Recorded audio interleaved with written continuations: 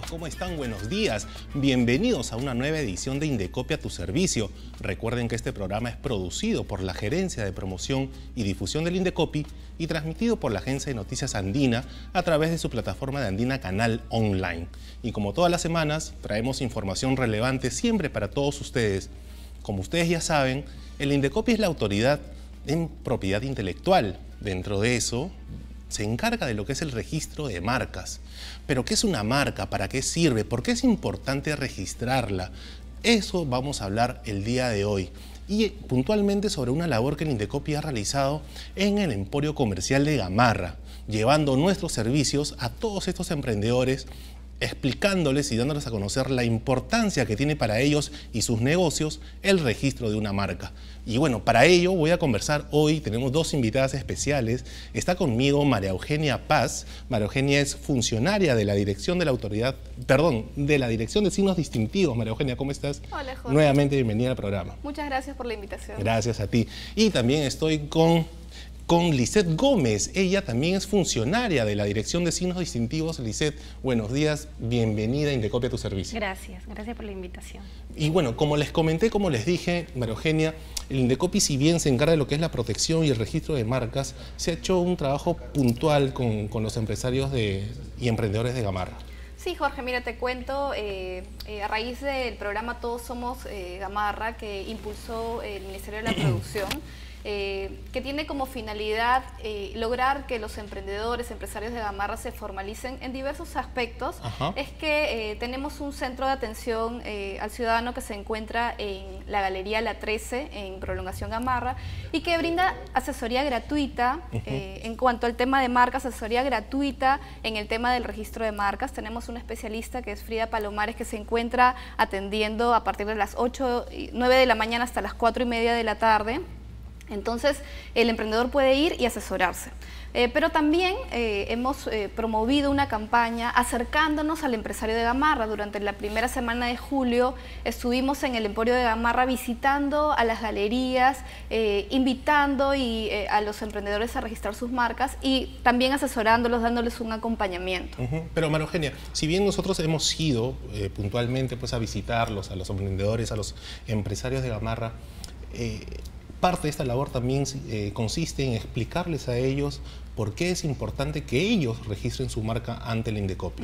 Sí, bueno, técnicamente la marca es un signo que sirve para identificar, distinguir productos y servicios en el mercado. ¿no? Eh, sin embargo, la marca ya de manera coloquial y para que lo entienda el emprendedor, es, es muy importante porque es la identidad de su, de su negocio, ¿no? Eh, a través de, de, la marca es que puede vender sus productos, que puede ser reconocido en el mercado y diferenciarse pues de sus competidores, ¿no? Entonces, ¿qué es importante? Es muy importante que la protejan, porque a raíz de, protegerla, pues obtienen eh, seguridad jurídica. ¿Y qué quiere decir esto? Que eh, evitar, o sea, obteniendo el registro va a poder evitar que lo copien, ¿no? Mucha gente eh, crea su marca y la tiene pues durante mucho tiempo y eh, tú sabes pues que las redes sociales eh, te ayudan a tener muchos seguidores, ¿no?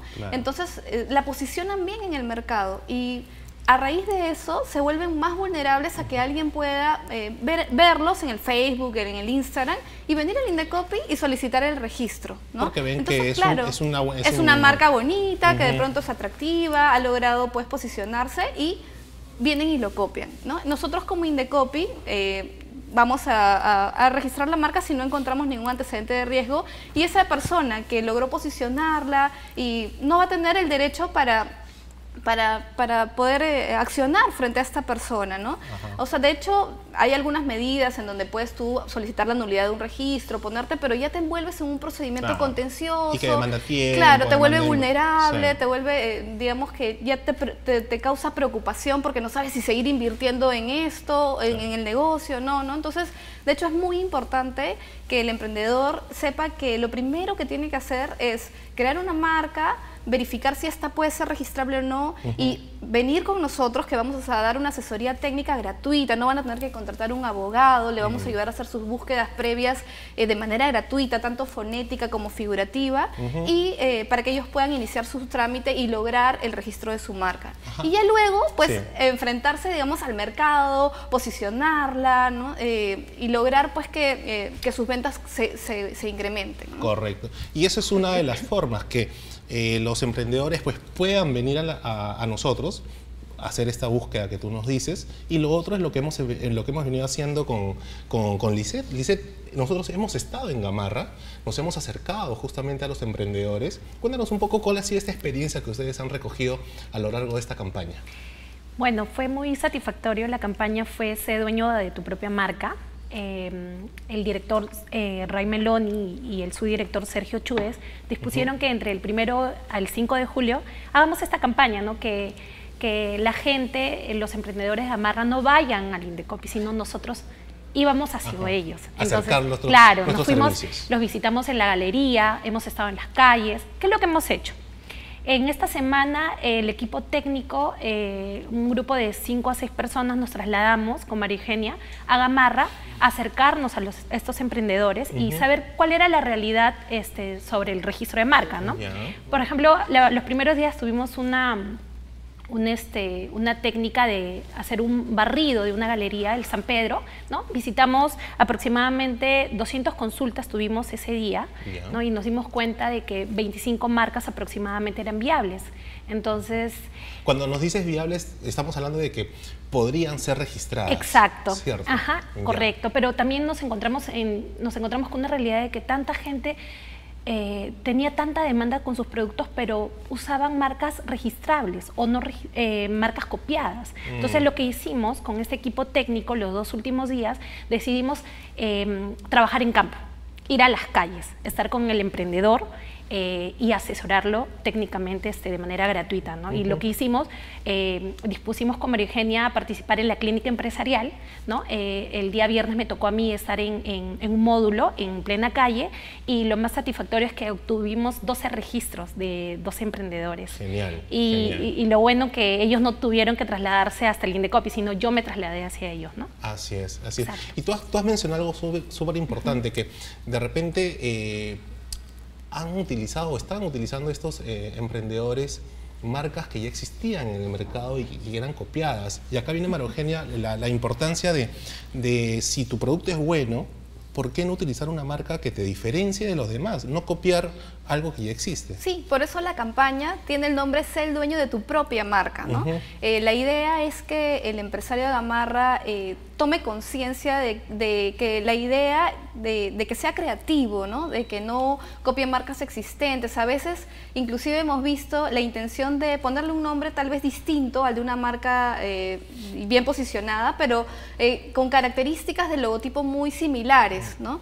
Entonces eso también es un impedimento porque cuando hacemos un análisis de la marca, nosotros hacemos el análisis del, elemento denominativo y del elemento gráfico que se acompaña. Entonces, eh, sí es importante que tomen conciencia, que sean creativos. Eh, nos ha pasado, como lo comentó Lisette, que al momento de hacer una visita a la Galería San Pedro nos dimos cuenta que muchas marcas no eran registrables.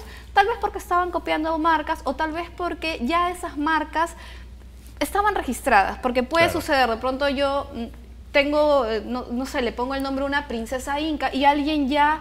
existía. Eh, claro, no, alguien ya tuvo esa idea antes que yo y puso eh, ese nombre a la marca, ¿no? Entonces... y lo registró. Exactamente, lo cual ya le impide a esta persona que inicie su trámite. Entonces, la idea es que no se desincentiven, que nosotros los vamos a acompañar hasta que ellos puedan lograr el registro de una marca. Y como te comentaba antes del programa que veníamos conversando un poco de esto, es que la idea es que registren una marca y que tengan el tiempo, digamos, de ir posicionándola, ¿no? Si ya tienen una marca, porque me pasa mucho con los empresarios que no quieren cambiar su marca, no son tercos, no, pero yo quiero, y si le cambio una pequeña letra, y si le pongo fashion, y si le pongo, no señor, no es registrable, ¿no? Pero tal vez ellos que saben, eh, que son emprendedores, que saben cómo se maneja el negocio, este, va a ser para ellos tal vez más fácil ir posicionando una marca a la par, ¿no?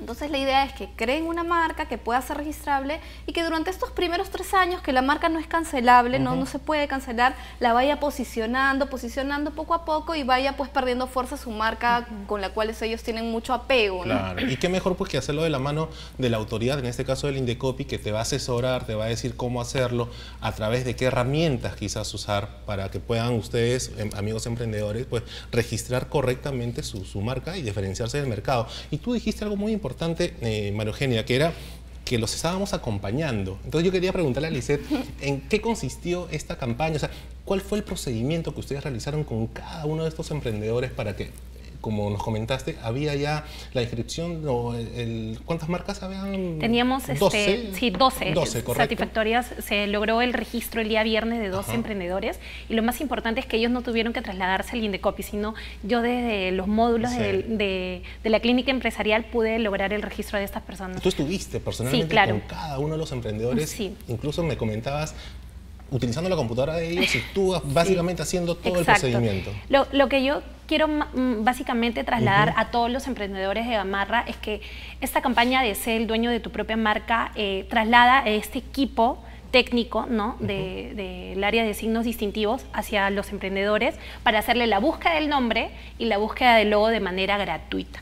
Nosotros nos encargamos de todo. Yo les lleno el formulario, puede ser físico o virtual, y solo ellos tendrían que realizar el pago del registro de marca, que es 534.99 por 10 años. ¿Eso lo puedes repetir para todos los Sí, claro. El registro de marca cuesta 534.99, le va a durar la marca por 10 años y lo que ellos necesitarían es solo escribirme al, este, al WhatsApp al 9500 eh, 96268 y yo me encargo de hacer la búsqueda del, del, nombre y la búsqueda del logo. ¿no? Yo les voy a acompañar en todo este proceso de evaluación hasta que ellos presenten la solicitud de registro y también monitorear hasta que ellos obtengan su registro. Y de eso también conversábamos, ¿cierto, María Eugenia? Estábamos hablando de un costo de poco más de 500 soles, lo que implica el, registrar una marca, pero llevándolo pues a la práctica estamos hablando de que son casi un poco más de 50 soles anuales por, por, tu marca. En realidad creo que no hay que, es una inversión, ¿no? Proteger tu marca es una inversión, además que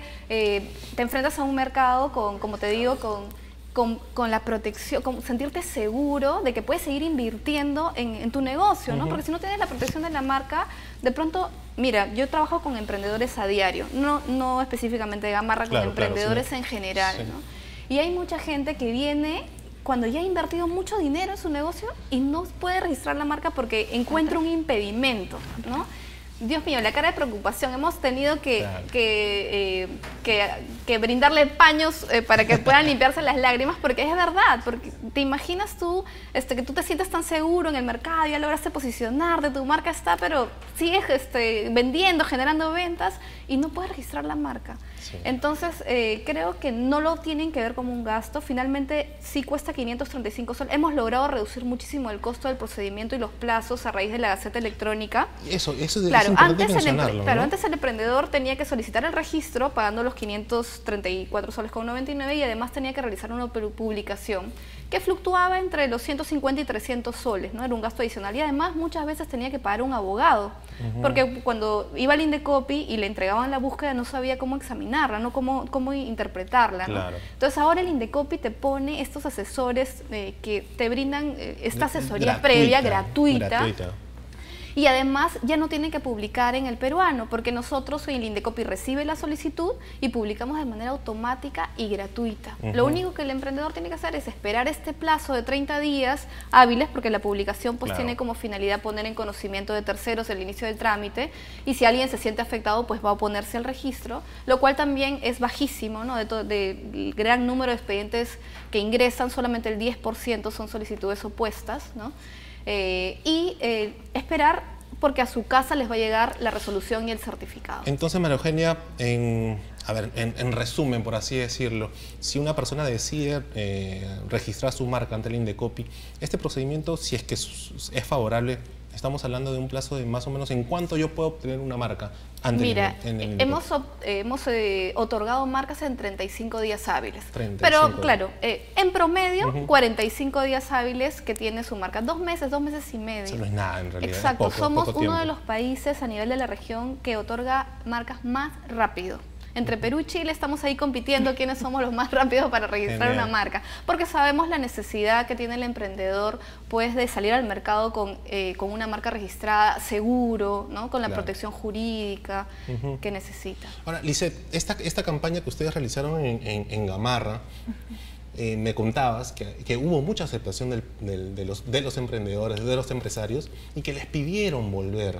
Sí, claro. Entonces ustedes tienen planificado ya una segunda incursión, por así decirlo. Sí, sí, claro. Hemos tenido mucha acogida. Lamentablemente, este, tuvimos la campaña fue muy corta. Eso ha hecho que tomemos la decisión de regresar. Vamos a regresar fines de agosto y este, mientras tanto eh, todo el público tiene que saber de que pueden acercarse a la plataforma preferente de marcas en la sede central del Indecopi, un equipo de técnico de abogados, podemos hacerles la búsqueda de manera gratuita.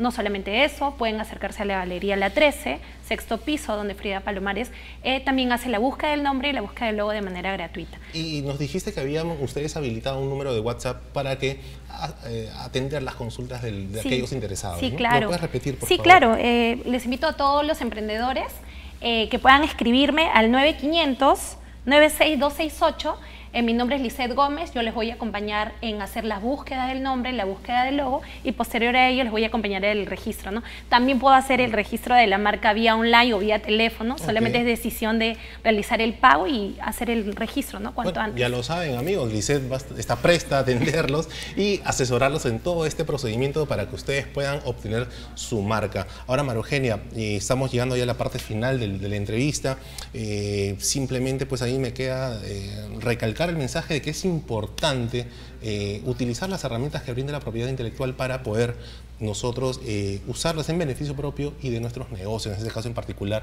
pues usando o utilizando el registro de una marca. Sí, Jorge, este, no quería dejar pasar la oportunidad.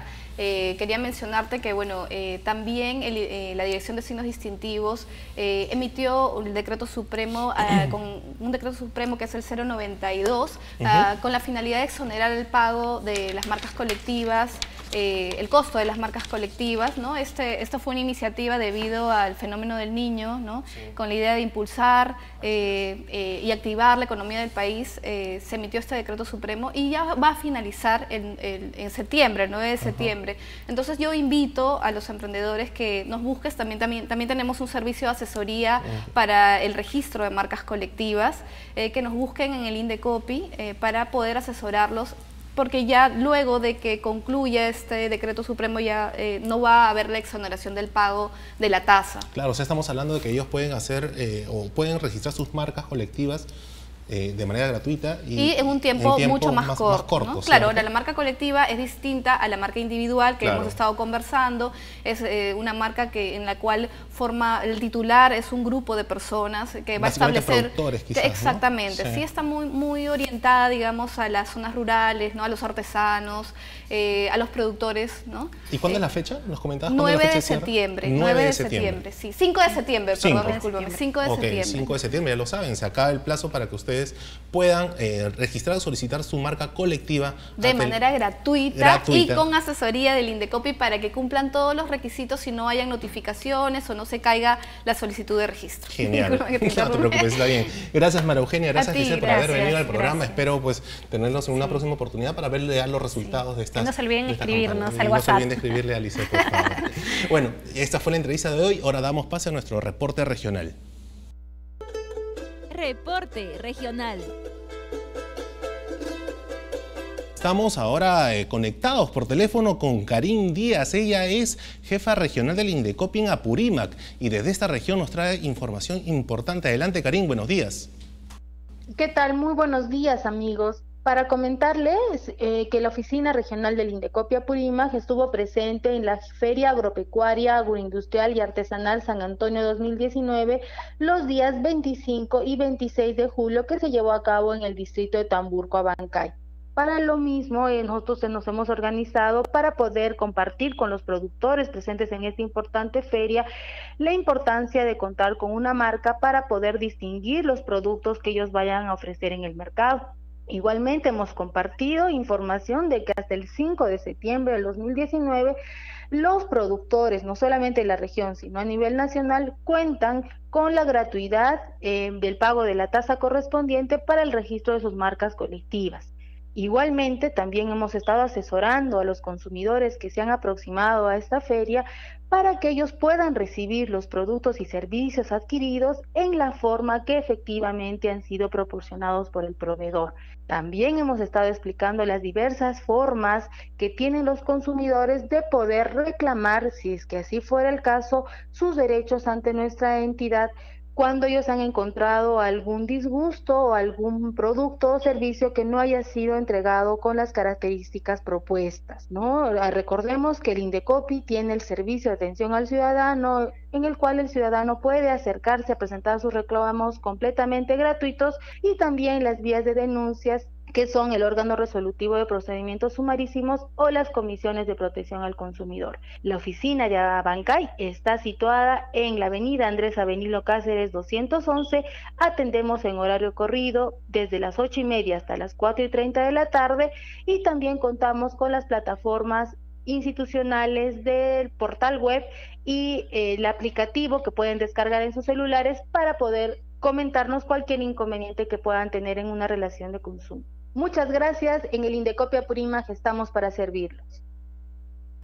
Gracias, gracias Karim por esa información y como lo, mencionábamos, la importancia de lo que es el registro de una marca y, través, y también se hace pues en todas las oficinas, en este caso en la oficina de Apurima. Gracias Karim por esa información.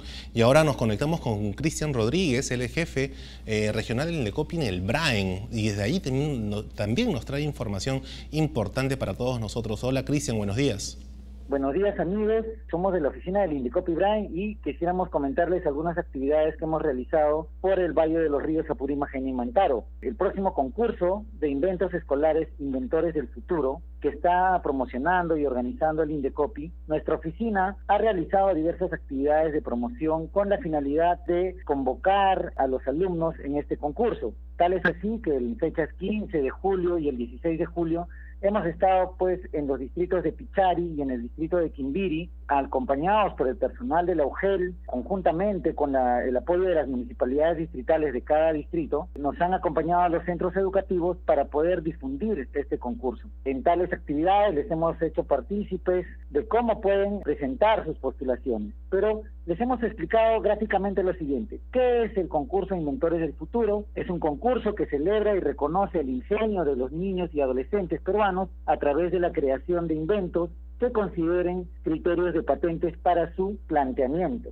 Pero ¿quiénes pueden participar en este concurso de inventores escolares? Los escolares de colegios públicos y privados de todo el Perú entre tercero y quinto de secundaria, ya sea de forma individual o de forma grupal. ¿Qué se puede presentar al concurso? Se pueden presentar nuevos productos, nuevos procedimientos, mejoras de productos ya existentes. Y finalmente les hemos informado los beneficios que ofrece participar a través de una postulación a este concurso de inventores escolares. ¿Cuáles son? Hay premios en efectivo, vamos a obtener trofeos y diplomas, vamos a, promocionar en prensa estas postulaciones o las que resulten ganadoras y la presencia en redes sociales, que tenemos plazo hasta el 23 de agosto para que puedan postular a sus presentaciones. Hemos obtenido una gran eh, aceptación, hay gran inquietud de los escolares del BRAE por participar en este invento. También han participado sus asesores, los docentes, los cuales pues se han mostrado muy interesados en esta actividad. Muy bien, es todo por cuando podemos informar. Recordarles, amigos, que nosotros estamos ubicados en la Avenida Arriba Perú, primera cuadra sin número, del distrito de Pichari, provincia de la Convención, departamento de Cusco. Nuestros horarios de atención son de ocho y media a cuatro y treinta de la tarde, de lunes a viernes. También podrían ah, contactarnos al número 985-188307, el cual pues está a disponibilidad de todos nuestros amigos usuarios y los radioyentes que nos escuchan. Muchas gracias. Gracias, Cristian, por esa información. Importante que desde la etapa escolar, desde esta edad, se pueda ya conocer eh, las herramientas que brinda la propiedad intelectual, en este caso con este concurso de, inventores para escolares. Eh, gracias, Cristian, por esa información. Antes de despedirme, eh, no se ha querido ir del programa sin antes acotar algo importante para todos ustedes, amigos emprendedores. Por favor, Lisset, cuéntanos. Sí, claro, decirle a todos los emprendedores que no se olviden escribirme nuevamente al WhatsApp al 9500-96268, donde el personal de la Dirección de Signos Distintivos se compromete a realizarle las búsquedas, todo de manera gratuita, y recordarles que el Págalo P es una herramienta informática donde ustedes ya no se pueden acercar a los bancos, sino mediante esta aplicación pueden realizar el pago con cualquier medio. Eh, con cualquier medio de pago de Visa, ¿no? sea tarjeta de crédito, ajá, o débito, ¿no? Genial, ya lo saben, esa es la información que teníamos pendiente para ustedes. Esto fue Indecopia, tu servicio. Recuerden que este programa es producido por la Gerencia de Promoción y Difusión del Indecopi y transmitido por la Agencia de Noticias Andina a través de su plataforma de Andina Canal Online. Conmigo, hasta la próxima.